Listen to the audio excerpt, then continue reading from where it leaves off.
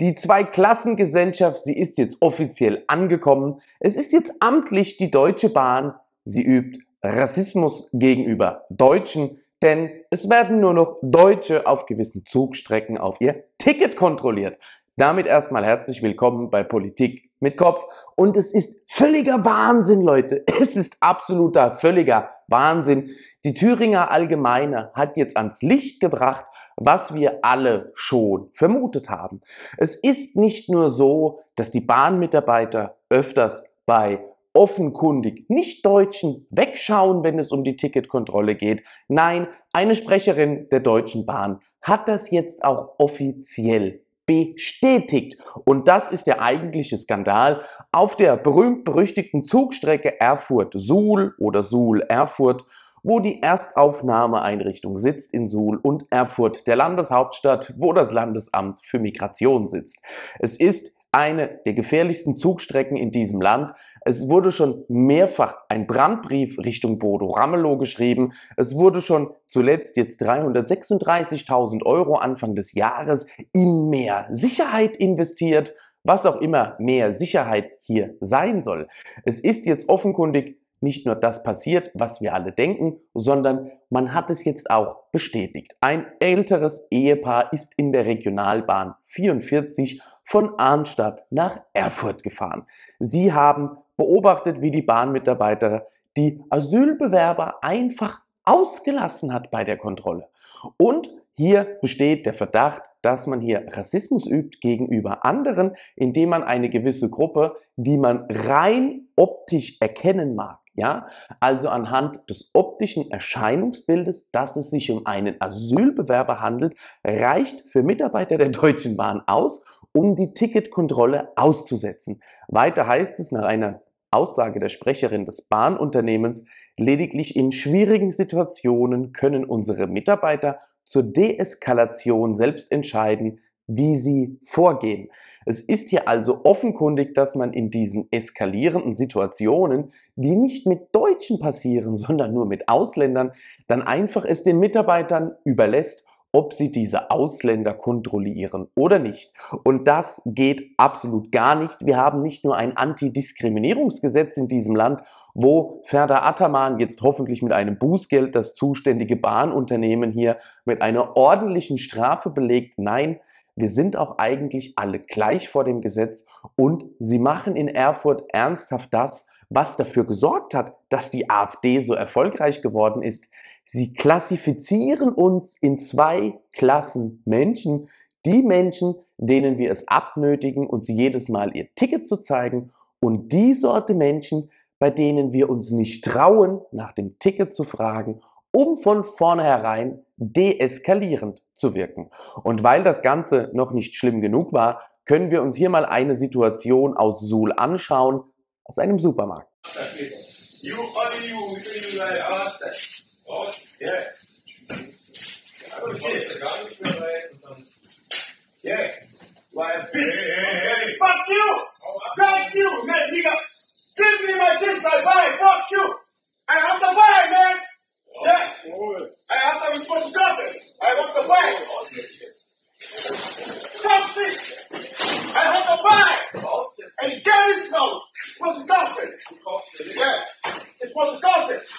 Und so weiter und so fort. Von diesen Videos gibt es zahlreiche aus Suhl und was meint ihr, wie viele in dieser Erstaufnahmeeinrichtung sind in Suhl?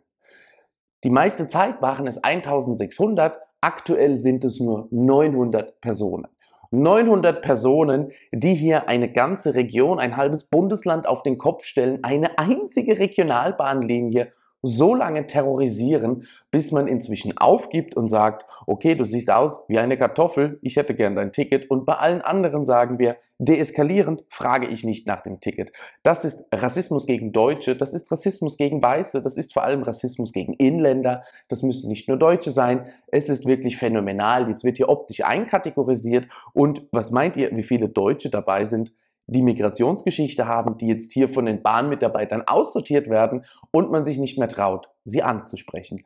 Wenn es soweit ist, dann müsst ihr das Bahnsystem umbauen wie in den Niederlanden. Dort gibt es die Ticketkontrollen zum Einlass und zum Auslass aus den Bahnhöfen. Dort kann gar niemand ohne Ticket einsteigen. Aber Nochmal, 900 Personen in einer Erstaufnahmeeinrichtung zerlegen hier ein halbes Bundesland. Gut, eine Regierung, die sich selbst zerlegt hat, da wird jetzt erstmal auch nichts draus. Aber wir haben Hunderttausende davon im Land. Bereits dieses Jahr über 160.000 Erstanträge. Was meint ihr, was los ist, wenn die sich mal alle organisiert irgendwo auf die Straße setzen und meinen, sie sind der Herr im Haus und uns mal zeigen wollen, wer hier die Hosen anhat. Dann sehen wir ziemlich alt aus, denn der Staat, der hat uns Bürger ziemlich entwaffnet. Wir können uns gar nicht richtig zur Wehr setzen. Wir können nur versuchen, andere Politik zu wählen und auch dann bekommt man meistens nicht das, was man wollte. In Thüringen und in Sachsen werden Sie es jetzt bald erleben. Ich bin gespannt, wie Brandenburg ausgeht ob Wojtke dann wirklich weg ist, wenn die AfD nur 3% mehr hat wie er, ob ihm das reicht, seine Karriere zu beenden. Genug Geld verdient hat er, genug Ansprüche hat er auch, aber wen will er dann hinterher schicken, ist ein einziges Trümmerfeld. Es ist, wie er es kennt, völliger Wahnsinn. Aber auch hier in Erfurt, in Thüringen, in Suhl, es ist, es ist völliger Wahnsinn, ja. Sie wollten ja Kurse geben in der Erstaufnahmeeinrichtung für Verhaltensweisen beim Zugfahren in Deutschland. Leute, das hat nichts mit Verhaltensweisen zu tun. Das sind Menschen aus einem anderen Zivilisationsstand dieser Welt, die hier zu uns kommen. Das sind Menschen aus der dritten Welt. Die wissen nicht, dass es Kühlschränke gibt teilweise, Gefrierschränke, dass man bei uns im Supermarkt einkaufen geht. Es gibt aus Suhl noch mehr Videos, wo sie, wenn sie angekommen sind in der Erstaufnahmeeinrichtung, zum ersten Mal ein totes Tier abgepackt in einer Plastikschale liegen sehen. Das ist kein Spaß, ich meine das überhaupt nicht böse die Leute wissen auch nicht, was ein Elektroherd ist. Die können nicht elektrisch kochen. Ja? Die, die haben das noch nie gesehen, dass Strom aus einer Steckdose kommt und da eine Maschine ist mit Knöpfen und dann da oben drauf was heiß wird. Ja? Aber diese Leute, die nehmen sie ja auf. Ja? Das ist schon mal der erste Fehler, würde ich sagen.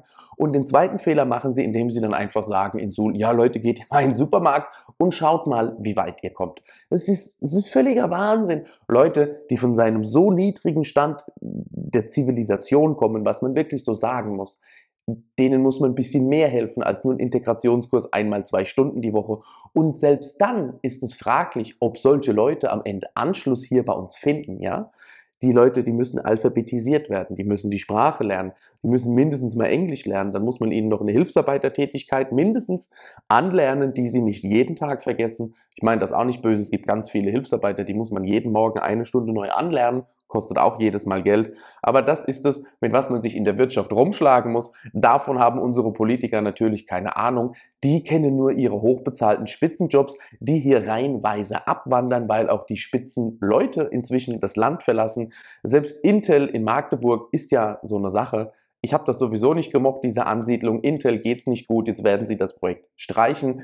Taiwan Semiconductor in Dresden bringt dann einfach 70 koreanische, taiwanesische Ingenieure mit und so hat man dann am Ende auch nichts gewonnen. Ich bin aber gespannt auf deine Meinung. Wie findest du diesen Skandal aus Thüringen, aus Suhl hier? Bist du genauso entsetzt wie ich oder sagst du, kein Problem, wir machen einfach weiter wie bisher und wir wählen weiter Altparteien. Ich bin gespannt auf deine Meinung. Abonniere diesen Kanal, X und Telegram, dann verpasst du nichts. Damit bis bald.